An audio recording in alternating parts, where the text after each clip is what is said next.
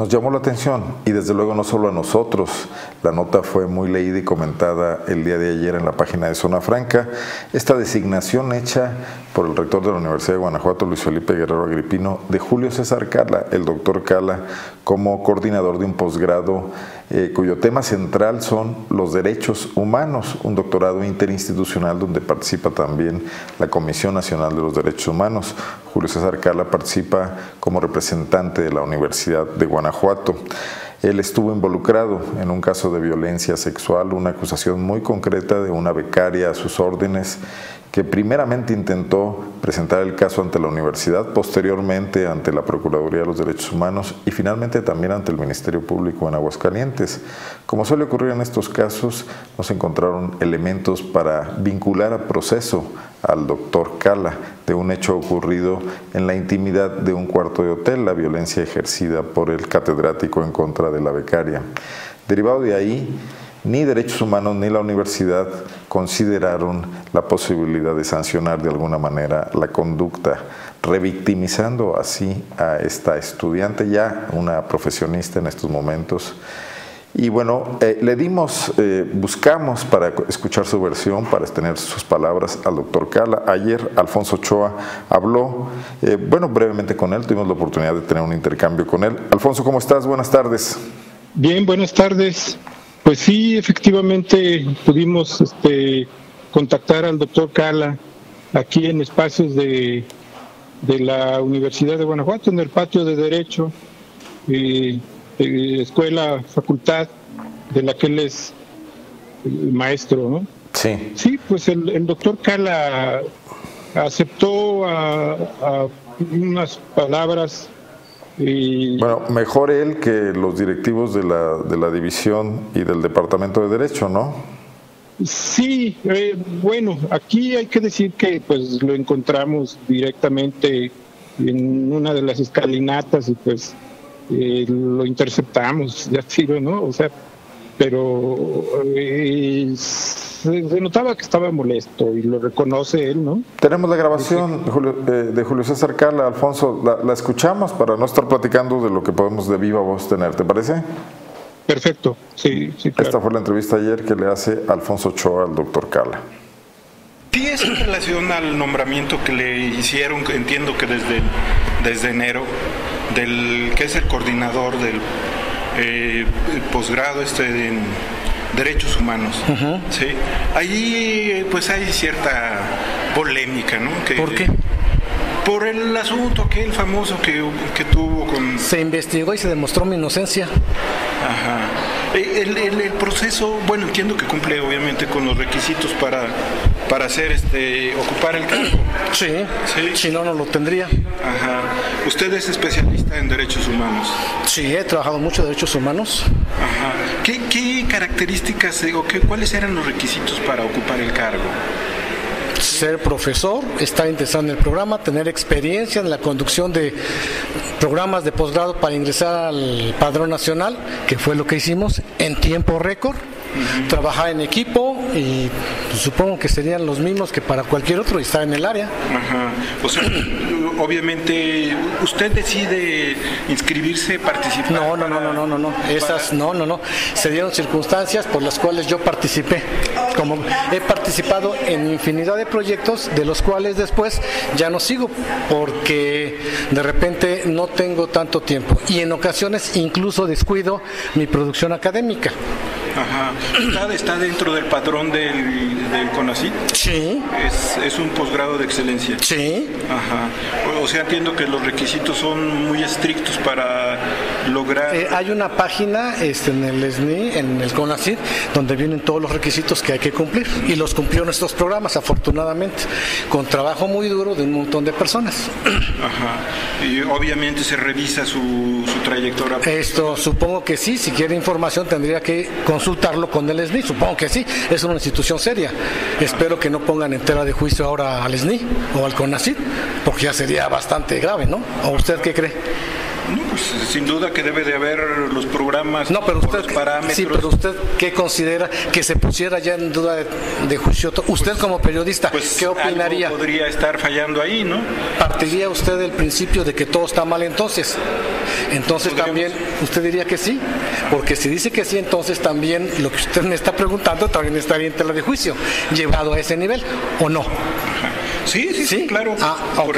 Sí, o sea, Perfecto. Que, yo creo que la polémica es interesante, la universidad. ¿Pero cuál es, polémica? Pues la que se está señalando en el periódico, ¿no? O sea, de que dicen no, que no, con, no conozco la polémica, en el, desgraciadamente. En, el medio. En el... Está bien, sí. Sí. Desgraciadamente no la conozco, no la he leído. No sigo los medios. Ajá. Porque no, no es Tengo importante. muchísimo trabajo. Sí, claro que es importante. Tengo muchísimo trabajo como para leer todos los medios de todas las formas. ¿Usted cuántos medios sigue? Pues los tres, ¿no? Sí, fíjese, y, es, y, es, y, es los- y es su trabajo. Sí, Mi trabajo es la academia, imagínese. más importante. Sí, sí. Hay que, entiendo que, que hay que estar informado. Ah, sí, por supuesto. este, No, informado claramente, donde no se tergiverse la, la verdad, donde cuando la gente diga que hizo algo, fue e investigó y no nada más se deje llevar por lo que alguien pudo haber dicho. Creo que eso es importante, eso caracteriza y distingue a un periodista de quien solamente usa el micrófono. Perfecto. Pues, eh, pero estaría bien. eh, yo creo que por el, la, una institución académica como es la universidad, pues siempre se distingue por la, la polémica, la discusión de las ideas, ¿no? No entiendo bien, pero sí esa es la definición de universidad. Y en ese, Es que no entiendo. Sí, o sea, y además en, en un asunto tan importante. Se resolvió, está- se resolvió jurídicamente.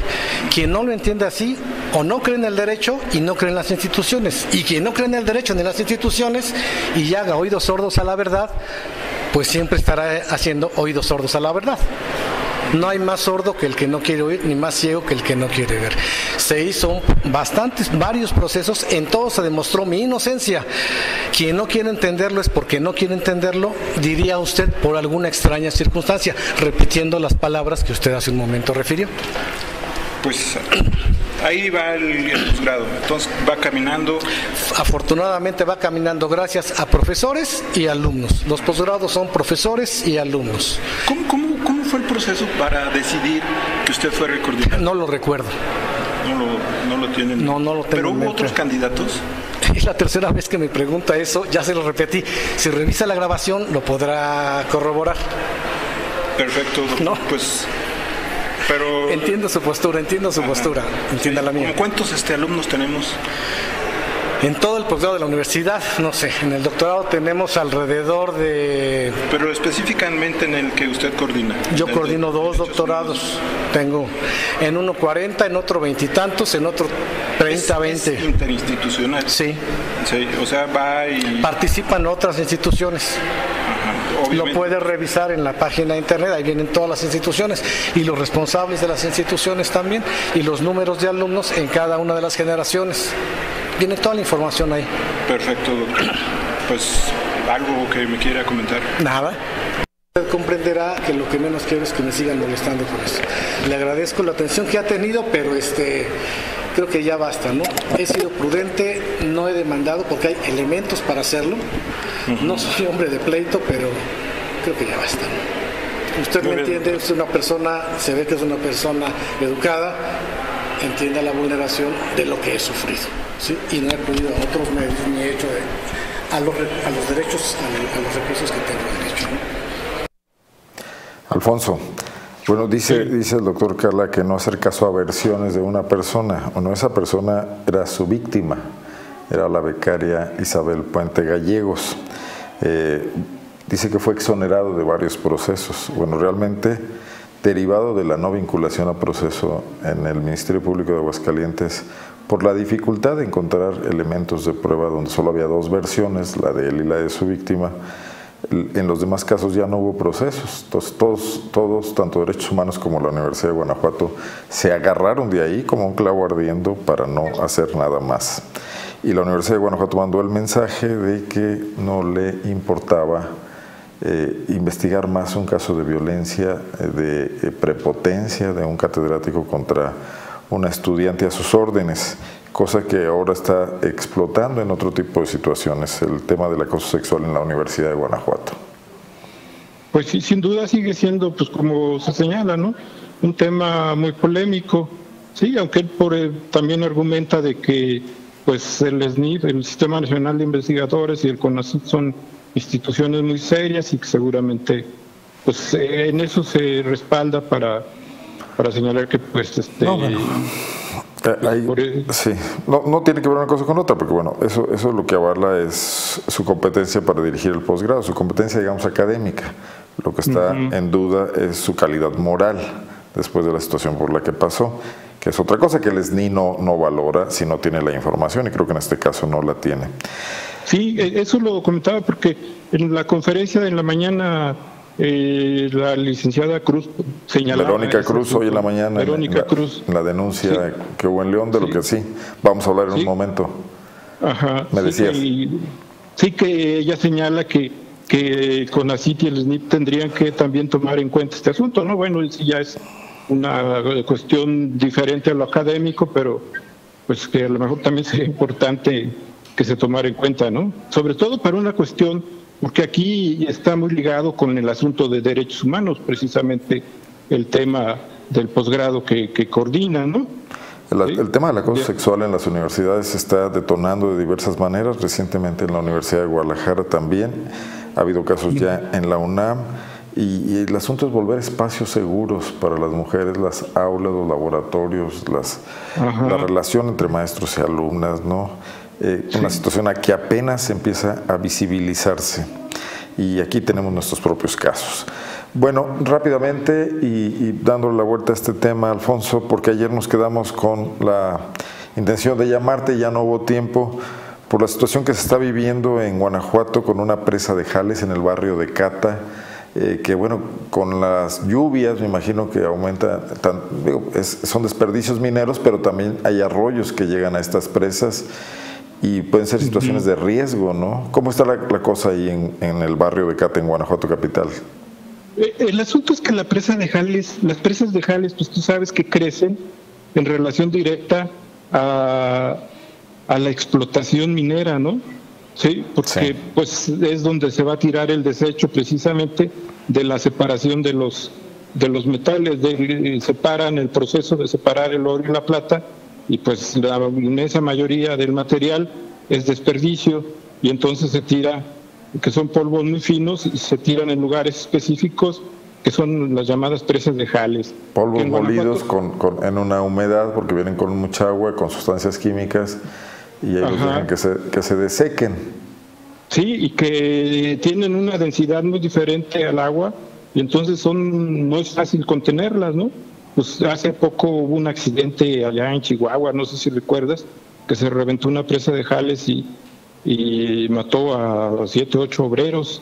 ¿sí? Entonces el problema siempre está latente y, y las presas de jales han estado creciendo mucho porque pues la explotación minera en Guanajuato ha, se ha reactivado. sí, se ha reactivado de manera muy importante, sobre todo con estas mineras canadienses Endeavor Silver y, y la Great Panther. Esta, de, de Cata es precisamente de la minera Great Panther, que explota las minas que eran de la cooperativa minera Santa Fe, ¿no? Pues minas muy, muy antiguas. Ahora, eh, muy cerca de las zonas habitadas, muy cerca de la ciudad. Eso es, eso es este lo, lo que llama mucho la atención, ¿no? Que pues la presa de Atiro está encima del, del barrio de Cata, ¿sí?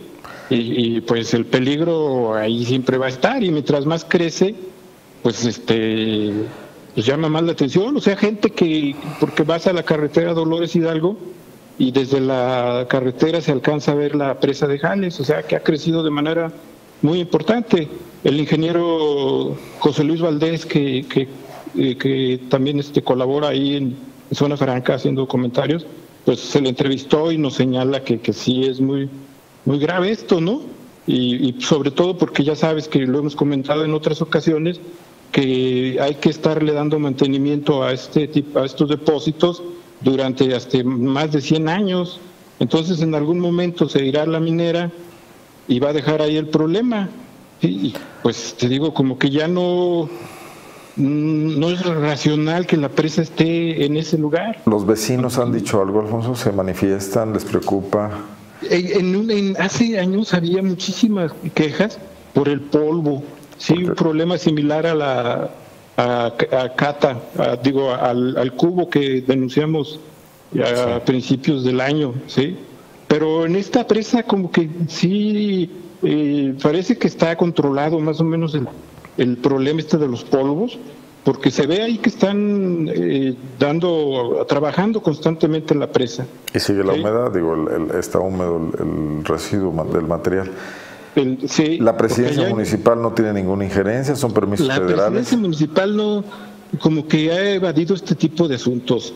Sí, ahí el ingeniero Valdés le señalaba, señalaba que incluso en una reunión reciente le señaló el problema al regidor Carlos Ortiz y el regidor Carlos Ortiz pues se salió por la tangente, ¿no? O sea, pero pues ya sabemos que el regidor Carlos Ortiz como que ha tenido varios señalamientos de que se dedica a proteger a las a las mineras, no los intereses de las mineras, aunque es el Partido Verde Ecologista, pues no, no, no hay ninguna garantía. bueno, ¿no ha habido respuestas a tu reportaje? No, no, no, en realidad no ha habido, habrá que buscarlos y platicar directamente con el alcalde, porque pues aunque es un tema... Ah, el alcalde que ya se pues va y que creo que ya no le importa mucho lo que pasa, ¿no? Pues sí, eh, este, ah, pues habrá que verlo también con Alejandro Navarro, sí, que llega alcalde y que, pues, sí, este eh, alguna vez había manifestado, siendo diputado, en la necesidad de estar vigilando el trabajo de las mineras. Pues, eh, pues, en la primera oportunidad habría que platicar con él, Alfonso. Bueno, dejamos aquí el tema, ¿te parece?